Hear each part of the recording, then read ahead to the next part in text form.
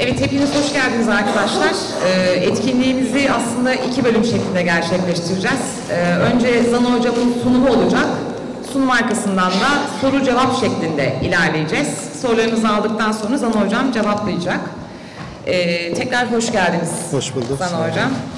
Evet, 21 Şubat e, Birleşmiş Milletler Eğitim ve Kültür Örgütü UNESCO'nun 1999'da e, 21 Şubat'ı Dünya Ana Dili Günü ilan etmesiyle kutlanmaya başlandı.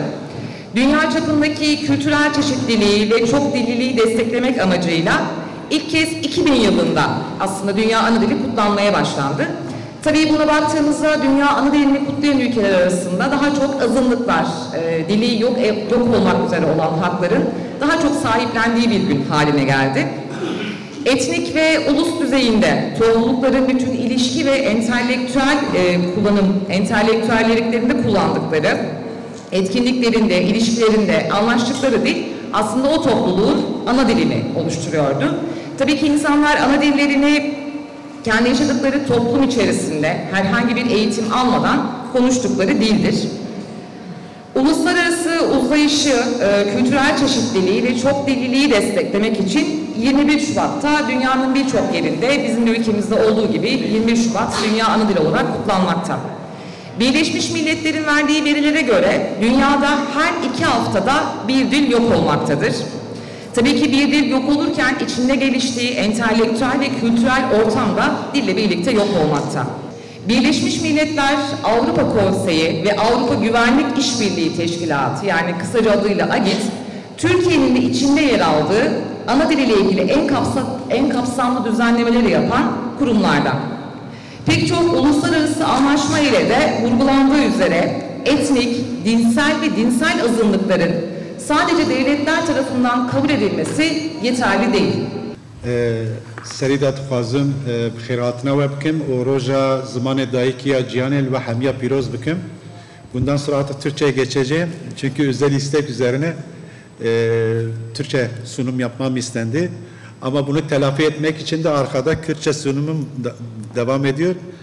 E, isteyen orayı da takip edebilir. Ben e, Türkçe'ye çevirerek e, bu bölümü tamamlamaya çalışacağım. Biraz da heyecanlıyım. Türkçe olunca biraz zorlanıyorum kısacası.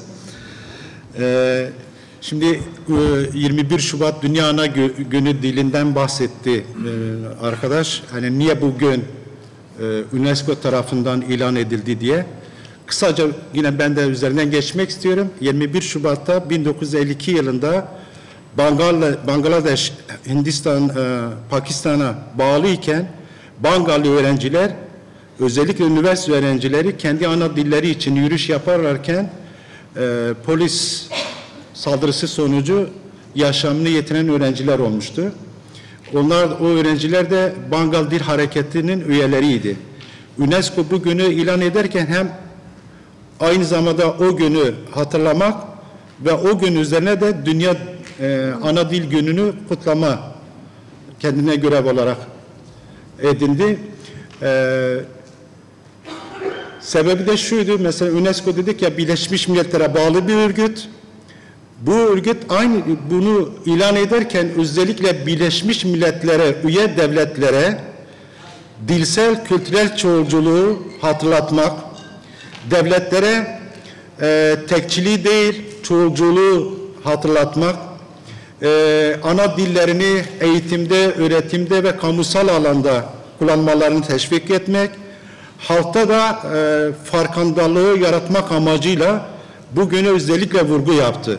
Bahsettiğimiz diller ise de genellikle ya yasaklı diller, ya eğitimde, öğretimde, kamusal alanın dışına itilen diller ya da kısmi statüsü olsa bile birçok haktan mahrum olan diller için bu özellikle 21 Şubat'ı Dünya Ana Dili Günü ilan etti ve eee bahsettiği Birleşmiş Milletler'e üye ülkelere görev ve sorumluluklarını hatırlatmak amacıyla bugüne özellikle vurgu yapılıyor. Ee, biz şeyden bahsettik, dillerden, kültürlerden bahsediyoruz ama niye diller ölüyor? Ee, bu dillerle birlikte niye kültürler yok oluyor? Şimdi dil dediğimiz olgu da, kültür de aynı zamanda e, bir insanlık mirası. Yani bir dilin oluşması, bir kültürün oluşması öyle kolay kolay oluşmuyor. Aramızda eğer biyologlar varsa bilirler yani bir türün oluşabilmesi için binlerce senelik bir izolasyona ihtiyaç var. Bir dilin oluşması da neredeyse aynı şekilde binlerce yıl sonucu oluş, oluşur. Yani öyle kendi kendiliğinde bir dil oluşup ya da şu anki günümüze gelinceye kadar ilk doğduğu andan itibaren günümüze gelen deyin ani kelime dağarcığına sahip değildir. Sürekli kendisini geliştiren, dönüştüren bir yapıya sahiptir ve dil ile toplumu, dil ile bireyi, dil ile e, toplumsal yaşamı birbirinden bağımsız ayrı düşünmemiz mümkün değil. Yani dile bakarak bir toplumu da tanıyabilirsiniz. Çünkü dil aynı zamanda toplumun geçmişine ışık tutan bir ayna gibidir. Dile bakarak o toplumu analiz edebilirsiniz. Kültüründen, e, inancından, mimarisinden, sanatından aklınıza gelebilecek her türlü kültürel, maddi, manevi kültürel öğeyi diline bakarak anlayabilmemiz mümkündür. O yüzden öyle dil sadece bir iletişim aracı ya da iletişim araçlarından en önemli olanı başta geleni değil. Aynı zamanda bir aidiyeti oluşturan temel öğedir. Bir ulusu ulus yapan etmelerin başında dil gelmektedir. Dil her ne kadar bir kültürel öğe ise de aslında o kültürel öğeyi günümüze taşıyan, yeniden öğreten ve geleceğe aktaran da en temel etmendir. O yüzden bazen kendi kendimize sorarız. Bir sistem yani bir rejim, bir devlet niye dili yasaklar?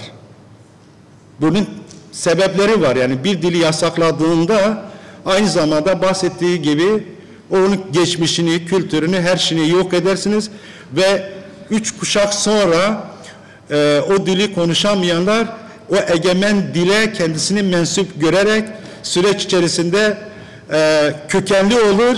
Sonra o kökeni de kalkar ve o egemen ulusa, millete, halka ait olarak kendisini hisseder. Bazen de sorarlar nesin? Ben kendimi böyle hissediyorum. Dolayısıyla ben buyum der. Tabi bu bireysel bir şeydir. Biz ise kolektif bir e, durumdan bahsediyoruz.